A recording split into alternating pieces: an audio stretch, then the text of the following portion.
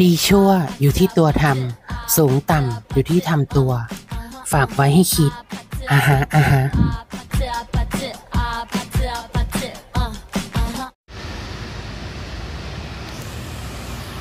สวัสดีค่ะลูซี่นะคะลูซี่จากช่องลูซี่กินแซบค่ะ วันนี้ลูซี่ก็จะพาทุกคนมาอัปเดตทางเชื่อมสกายวอล์กจาก สถานีรถไฟฟ้าสายสีเหลือง สถานีบางกะปิ เดินไปถึงตลาดบางกะปินะคะ ทุกคนมาดูกันว่าเขาจะทำเสร็จแล้ว หรือว่ายังไม่เสร็จแล้วก็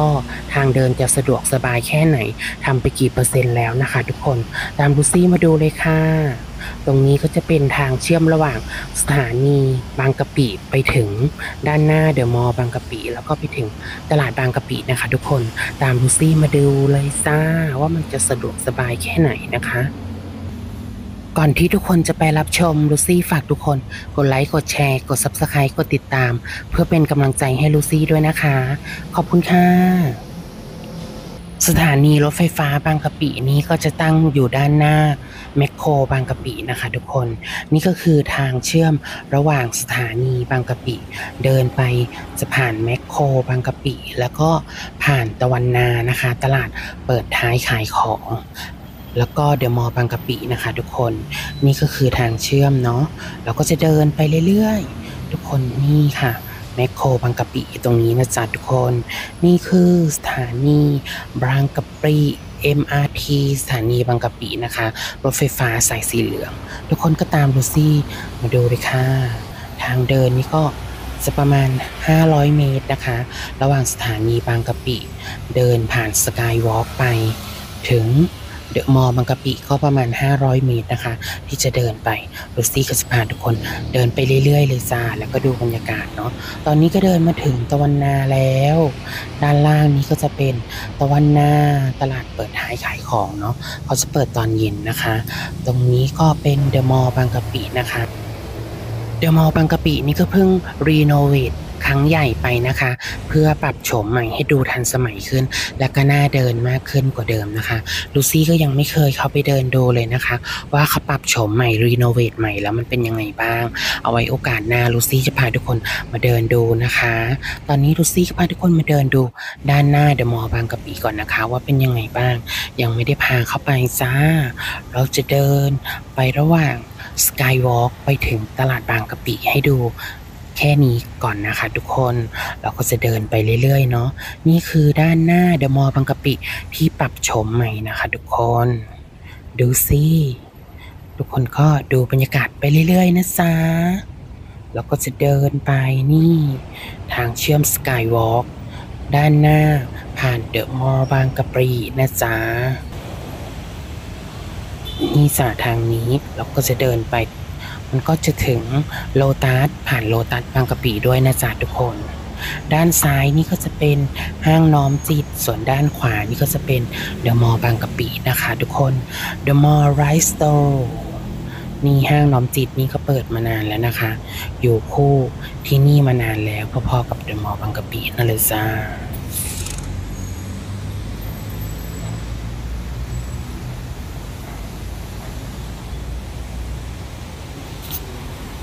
ทางเชื่อมสกายวอล์กนี่ก็จะมีพนักงานขี่รถมาทำความสะอาดขัดถูพื้น ให้คงความสะอาดอยู่ตลอดเวลาเลยนะคะทุกคน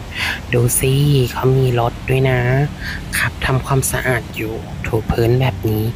ให้สะอาดอยู่เสมอๆเลยค่ะทุกคน นี่เราก็จะเดินไปเรื่อยๆ ซ้ายมือนี่ก็คือห้างน้อมจิตบางกะปินะคะ อยู่ตรงนี้ ชั้นบนก็สขายมือถือ โทรศัพท์มือถือนั่นเองนะคะ แล้วก็สินค้ามากมายหลากหลาย ด้านหลังห้างน้อมจิตนี้จะมีสถานีขนส่งผู้โดยสารรถตู้ไปต่างจังหวัดด้วยนะคะ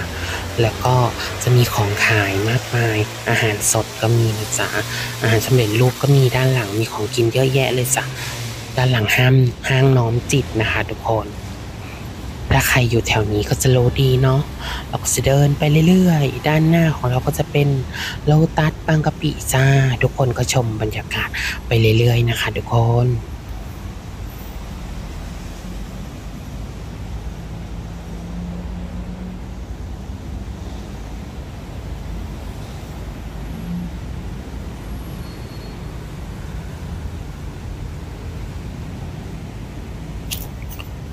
ตอนนี้ลูซี่ก็เดินมาถึงโลตัสบางกะปิแล้วนะคะ ทุกคน ลูซี่ก็จะพาทุกคนเดินแวะเข้าไปที่โลตัสบางกะปิสักนิดนึงนะคะ ลูซี่จะเข้าไปซื้อของเนาะเพื่อจะเอากลับบ้านจ้า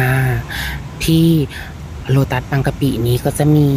โรงหนังด้วยนะคะ ทุกคนโรงภาพยนตร์ของน่าจะเป็นเมเจอร์ซีนีเพล็กซ์นะคะถ้าลูซี่จำไม่ผิดเนาะเป็นโรงหนังของเมเจอร์ซีนีเพล็กซ์จ้าลูซี่ก็จะพาทุกคนเดินเข้าไปดู แต่ว่าลูซี่จะไม่ได้ถ่ายด้านในโลตัสบางกะปิให้ดูมากมายนะคะเพราะลูซี่จะมาซื้อของจ้า ซื้อของเสร็จลูซี่ก็จะเดินออกมานะคะ ทุกคน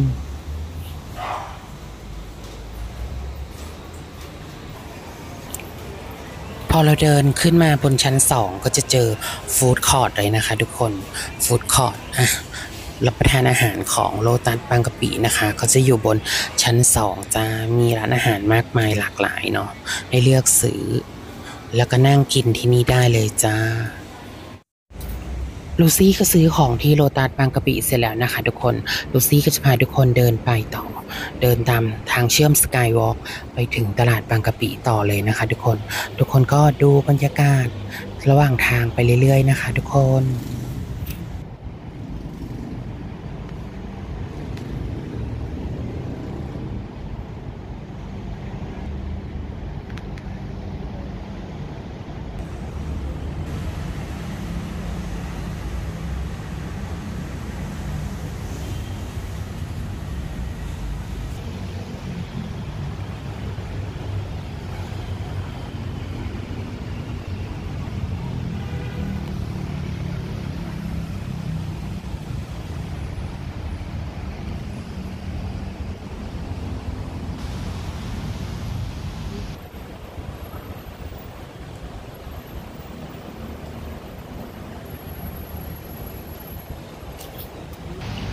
ด้านหน้าซ้ายมือนี่ก็คือตลาดบางกะปิแล้วนะคะ ทุกคน ตลาดบางกะปิจะอยู่ที่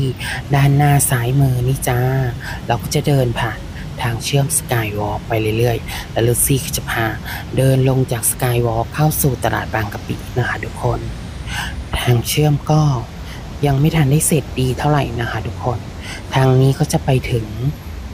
สำนักงงานเขตบางกะปิด้วยนะคะทุกคน นี่ตรงนี้ก็ยังไม่เสร็จดีเท่าไหร่เนาะเสร็จแล้วประมาณ 90%นะยังไม่ได้เก็บรายละเอียดมากมาย ตรงนี้ก็ยังดูไม่ได้เก็บรายละเอียดเลย ยังไม่ได้เสร็จร้อยเปอร์เซ็นต์นะคะทุกคน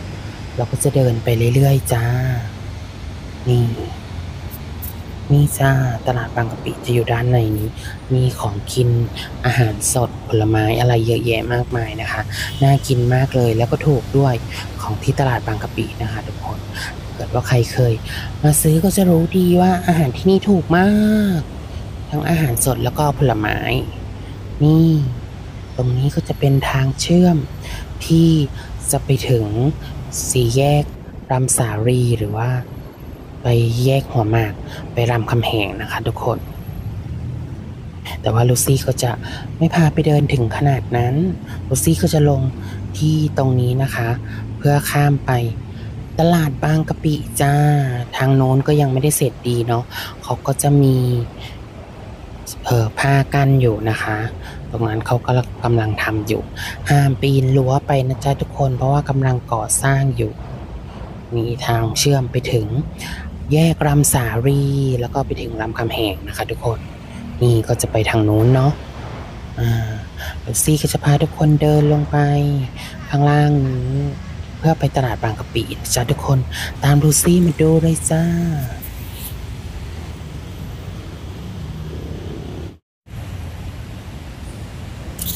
ลูซี่ก็จะพาทุกคนข้ามถนนไปตลาดบางกะปินะจ๊ะทุกคน ด้านหน้านี่เองค่ะตลาดบางกะปิข้ามถนนไปเลย เห็นไหมด้านหน้ามีผลไม้มากมายเลย ทุเรียน แล้วก็องุ่นไซมัส ผลไม้ลำไยลองกองอแก้วมังกร เยอะแยะมากมายเลยอะฝรั่งก็มีมะม่วงก็มา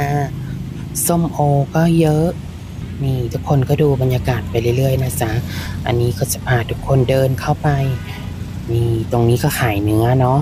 มีขายเนื้อสด ขายเครื่องครัวมากมายเลย ระหว่างริมถนนเนี่ย แล้วเราก็จะพาทุกคนเดินวนกลับไปแล้วก็จะเดินเข้าไปในตลาดบางกะปินะจ๊ะดูสิมีอะไรขายบ้างนี่ด้านหน้านี่ก็คือตลาดสดลาดพร้าวหรือตลาดบางกะปินั่นเองนั่นแหละค่ะ เพราะว่าที่นี่เขาจะเรียกว่าตลาดบางกะปินะจ๊ะเขาไม่เรียกว่าตลาดลาดพร้าวเนาะแต่ชื่อป้ายมันก็จะเขียนอย่างนั้นน่ะดูสิผลไม้เยอะแยะมากมายเลย ที่ตลาดบางกะปิ น่ากินไหมล่ะทุกคน ที่สำคัญก็คือราคาถูกด้วยนะจ๊ะนี่อาหารสดอะไรผักผลไม้อะไร ทุกอย่างมีครบหมดจ้ะ มาตลาดบางกะปิที่เดียว ครบทุกอย่างจ้า เครื่องทำอาหาร ทุกอย่างมีครบเลยน่ากินถ้ามาที่นี่แล้วไม่ต้องไปที่ไหนอีกแล้วจ้ะมีทุกอย่างที่ต้องการ ไม่ว่าจะเป็นปลาหมูเห็ดเป็ดไก่ เนื้ออะไรมีหมดจะอาหารสดอาหารทะเล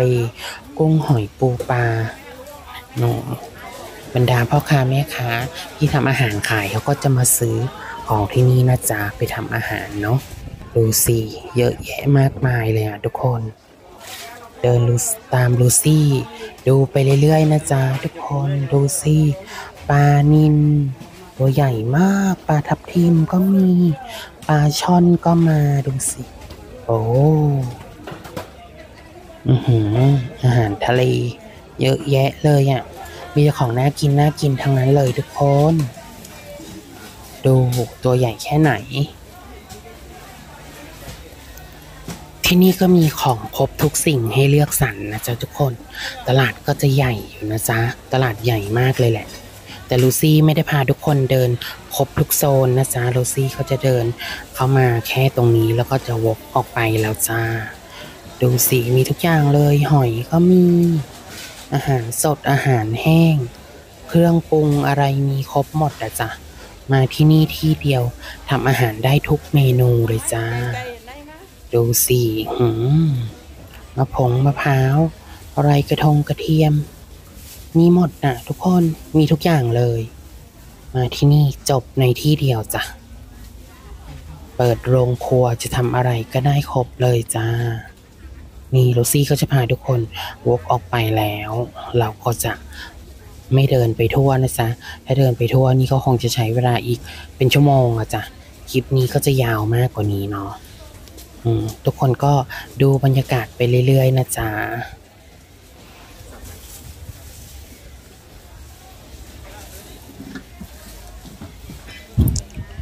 ที่นี่ก็จะถูกมากเลยนะคะ ทุกคนอืมถ้าเกิดว่าใครเป็นแม่ค้าเนี่ยมาซื้อที่นี่คุ้มมากเลยจ้ะผักถูกแล้วก็เยอะมากด้วยทุกคนดูสิ ว้าวพ่อค้าแม่ค้าเขาก็จะนิยมมาซื้อกันที่ตลาดบางกะปิเนี่ยจ้ะคนที่อยู่แถวนี้นะคะ ทุกคนผลไม้ก็น่ากินเยอะแยะ ลูกใหญ่ๆทั้งนั้นเลยอะ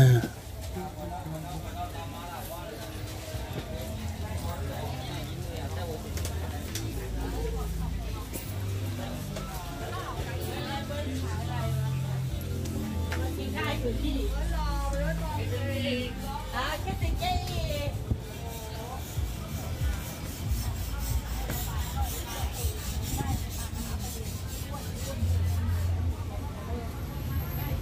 ำหรับคลิปนี้ลูซี่ก็จะขอจบคลิปไว้เพียงแค่นี้นะคะทุกคน ฝากทุกคนกดไลค์ กดแชร์ กด Subscribe กดติดตามเป็นกำลังใจให้ลูซี่ด้วยนะคะ และตามกันมาดูว่าลูซี่จะพาไปเที่ยวที่ไหนต่อค่ะ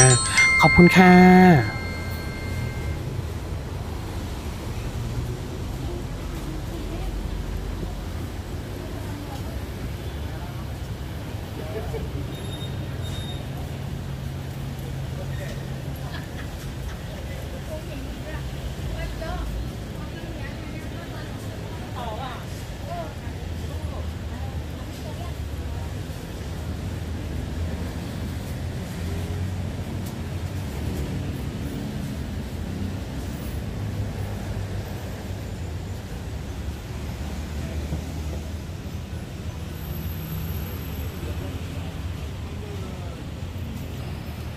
เท่า ไหร่เอ่ยโลแปดขีด